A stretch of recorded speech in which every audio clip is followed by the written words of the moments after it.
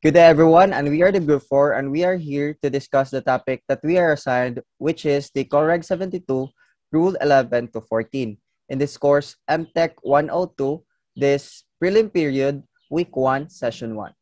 So the Group 4 presenters are Deck Cadet Cogtas Larra Justin, Decadet Cañete Vence Audrey, and the Decadet Gasalatan Cecilieto Jr. Jr. So the course outcome for this lesson is that the learner should be able to recognize the traffic separation scheme and determine the appropriate actions to take to be taken in certain situations using the call the rules in Colreg 72 and the learning outcome for this session is that the, at the end of the lesson students should be able to understand the Colreg 72 rule 11 to 14 and its application and for the importance of the topic is that students will be able to understand the Reg 72, Rule 11 to 14, and its application, and the students will be able to determine the appropriate actions to be taken in certain situations. So the Reg 72, Rule 11 to 14, is located at the Part B, which is the steering and sailing rules. In the subpart 2 or Section 2, the conduct of vessels inside of one another. In the Rule 11, which is the application, rules in the section apply to the vessels inside of one another. So the Rule 12 will be discussed by Deck Cadet Cogtas Larra Justin. Thank you, Deck Cadet Gasalatan. So for the Rule 12, entitled Sailing Vessels. So from the title itself, sailing vessels means this rule is only applicable for sailing vessels only. From the definition, sailing vessels means any vessel under sail provided that propelling machinery, if fitted, is not being used. The sailing vessel relies on the power of the wind, may it be windward or leeward. Paragraph A. When two sailing vessels are approaching on one another so as to involve risk, risk of collision, one of them shall keep out of the way of the other, as follows. This statement clearly states that if two sailing vessels are visible to each other, there is a risk of collision. One of the, those sailing vessels should keep out of the way to, uh, to avoid collision. Paragraph 1.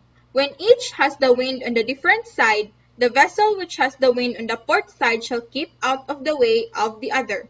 This means that when two sailing vessels are approaching one another, there is a risk of collision so they need to perform an action. One of them should be the give-way vessel. Since they are approaching one another, it is easy to determine which vessel should be the give-way. If, vessel, if the vessel's wind is on the port side, then that vessel is the give-way vessel and must keep out of the way. Paragraph 2. When both have the wind on the same side, the vessel which is to windward shall keep out of the way of the vessel which is to leeward. If both vessels have the wind on the same side, the vessel which is to windward shall take an action, since it is said that the windward vessel is normally the more maneuverable vessel. Windward is the sailing vessel that is closer to where the wind is coming from, and the leeward is the wind is the downwind from the other vessel or is away from where the wind is coming from. For the paragraph 3, if a vessel with a wind on the port side sees a vessel to windward and cannot determine with certainty whether the other vessel has the wind on the port side or on the starboard side, she shall keep out of the way of the other. So this statement is already self self-explanatory. For the paragraph B, for the purpose of this rule, the windward side shall be deemed to be the side opposite that on which the mainsail is carried or, in the case of a square-rigged vessel, the side opposite to that on which the largest fore and aft sail is carried. Here we have the mainsail. It's hanging off the mainmast, it's actually on the boom. To determine the windward side, we need to determine which side she's carrying this sail. It's actually quite hard from this angle to determine. The only thing we'd be able to go on would be that possibly this flag astern telling us the wind direction and actually because it's right in the centre of the ship it's very hard to tell. Let's have a look at the next image. Okay, so this image is a bit more of a classic yacht. We've got two different sails. We've got this forward sail here but for the purposes of the rule, this sail has no impact at all. We are interested in the one astern of her mast, this one here. This is her mainsail. And we need to try and work out on what side it's carried. To me, it looks like she's carrying the mainsail on her port side, which means the wind is coming from her starboard side. You can tell just by looking at these images, it's actually very hard to tell where the wind is coming from. Let's try the next one. Okay, so in this picture we're starting to look at some square rigged sails. You've got these sails here on the mast, which are the square rigged ones. These are not to be used for trying to work out what side the wind is from. They're a very good indication, but as per the rule they don't define which is her windward side.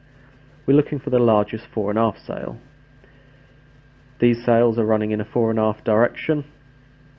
This sail in here is also running in a fore and aft direction, and this sail at the stern is running in a fore and aft direction.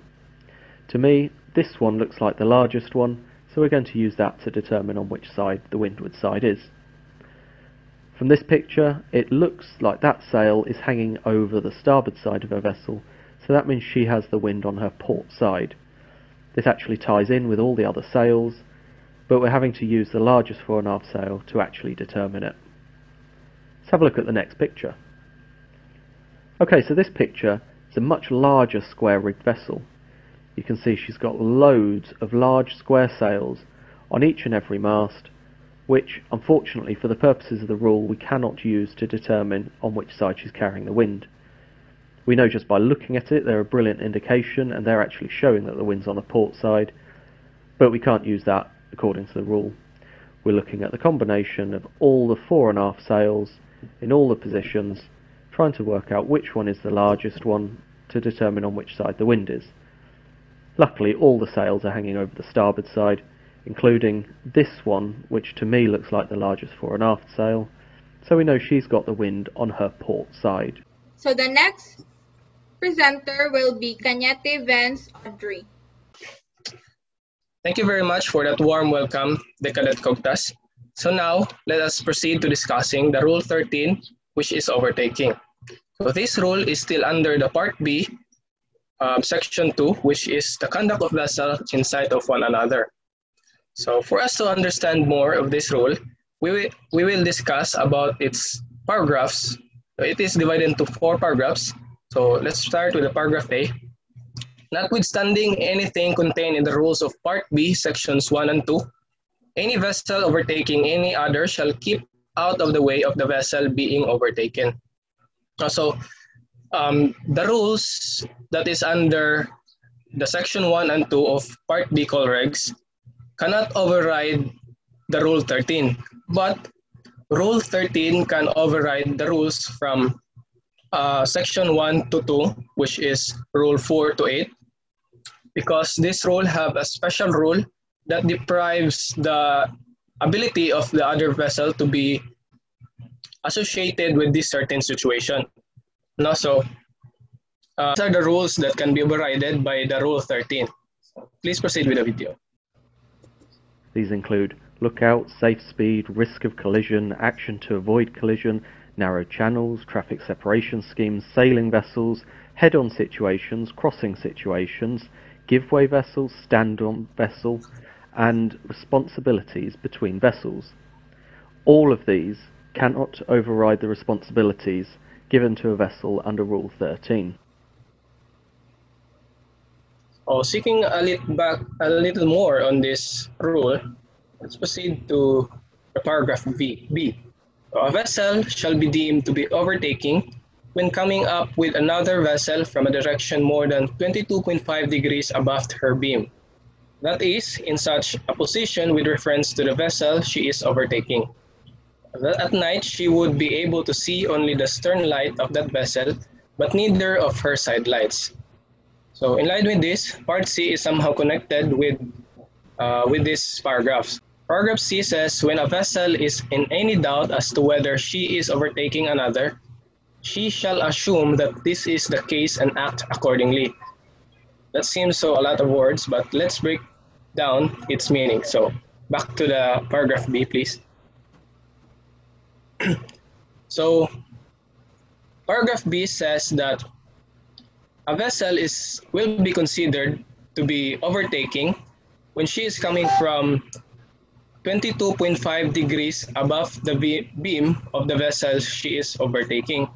So as we all know, vessels are equipped with lights and these lights have its um, range in which it can only be seen. At night, an overtaking will only see, an overtaking vessel will only see the stern light of the vessel, uh, of the vessel that overtaking can be either be in the starboard side or port side as long as it is 22.5 degrees above her beam. If it moves across the 22.5 degrees forward, it will be considered as a crossing situation.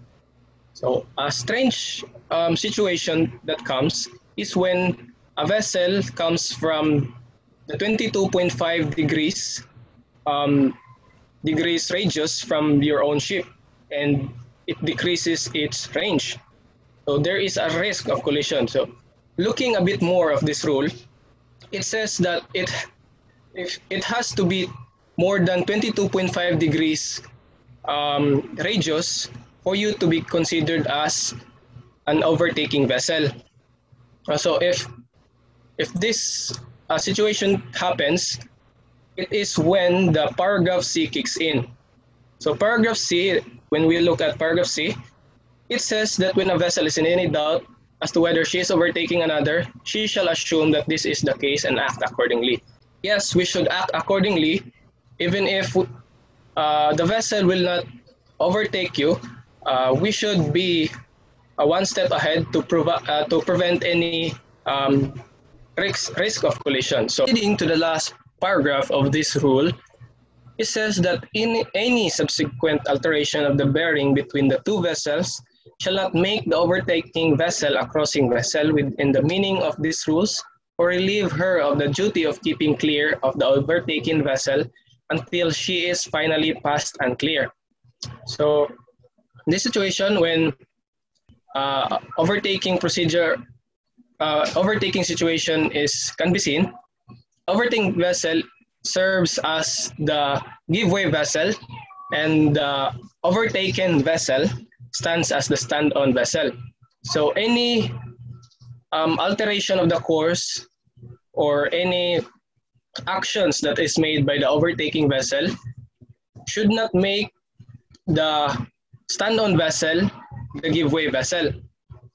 Just like for example, when the overtaking vessel uh, moves past through the vessel that she is overtaking, um, she shall not cross the course of the vessel uh, that is being overtaken, making the stand-on vessel the give-way vessel. Thank you so much.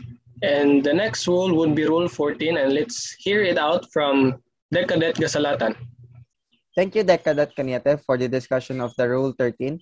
So for the Rule 14, which is the head-on situation, it states in the Part A, unless otherwise agreed when two power-driven vessels are meeting in reciprocal or nearly reciprocal courses so as to involve risk of collision, each shall alter her course to starboard so that each shall pass on the port side of the other. This rule is only applicable to power-driven vessels only. In this rule, the situation is where both vessels are meeting in reciprocal or nearly reciprocal course, like 180 on each other. For example, one is going north and one is going south. And they need to be approaching so as to involve in risk of collision. So if the risk of collision does not exist, you don't need to apply this rule and it says that each shall alter its course to starboard, so each shall pass in the port side of the other. It is telling both vessels to take action, which means in this rule, both vessel both vessels are give-way vessels, and in and in the head-on situation, there is no stand-on vessel. So to properly explain, this is the illustration to visualize what it looks like. Okay, taking this diagram, we'll have a blue vessel down at the bottom of the screen. She's going along quite happily, heading due north, 000. Then she sees the red vessel up ahead. Now the red vessel, they know that they're going due south, 180, so So these two are actually meeting on reciprocal courses. First thing they need to establish is whether risk of collision exists. To do that, they've got to continue to monitor for a little while. After a while, they've established the bearing between them is not changing, so they know risk of collision exists. They also know they're in sight of one another, they know they're both power-driven vessels, and they're meeting on reciprocal courses. Therefore, this is a head-on situation within the meaning of the rules. As per the first part of the rule, both vessels shall alter their course to starboard, so that each shall pass on the port side of the other. Once they've altered round to starboard, of course, the port side light is visible from both vessels. They can continue past each other until risk of collision is over and they're finally passed and clear, at which point they're free to alter back round to port and continue on their previous passage. So for the part B, such situation shall be deemed to exist when a vessel sees the other ahead or nearly ahead. By the night, she could see the masthead lights of the other in line or, or nearly in line, or both side lights. And by the day, she observes the corresponding aspects of the other vessel. So the part B tells us when the head-on situation exists, such situation shall deem to exist when a vessel sees the other ahead it basically said that you need to see the other one ahead, which makes sense since it's a head-on situation. And the masthead lights needs to be aligned or nearly aligned, and by the day, it would be the same aspect. And for the part C, when a vessel is in any doubt as to whether such situation exists, she shall assume that it does exist and act accordingly. So if you're in doubt if it is a head-on situation, then you need to assume that it is a head-on situation and act accordingly. So to properly explain, this is the illustration to visualize what it looks like in the part B and part C paragraph. So at night it would be complete darkness. You would see the masthead light, which is the main mast, which is the after one, and then the foremast, which is the forward one, would be lower than the after one. You'd also see a port side light and a starboard side light. Seeing both side lights means that the ship is coming straight towards you. You can see straight on her bow. As she turns around slightly, you can see the masthead lights will gradually start to separate. The green side light, of course, will still be very visible, and for a time the port one will, but obviously it'll be getting dimmer as she's turning and covering it. As she turns yet further still, separation between the masthead lights will increase, the port side light will disappear, and only the starboard side light will be visible. This will carry on until she is right out on the beam, on the broadest possible aspect, and this will be the maximum separation between the two masthead lights. Of course, in this situation, she be going right from the left-hand side of the screen to the right-hand side of the screen. Of course, in the daytime, you'd be seeing the corresponding aspect of the vessel, either head-on or the intervals until she is right out on the beam. Once again, we are the Group 4 with Decadet Larra Justin Cogtas, Benson De Cañete, and Cecilieto Gasalatan Jr. Thank you for listening.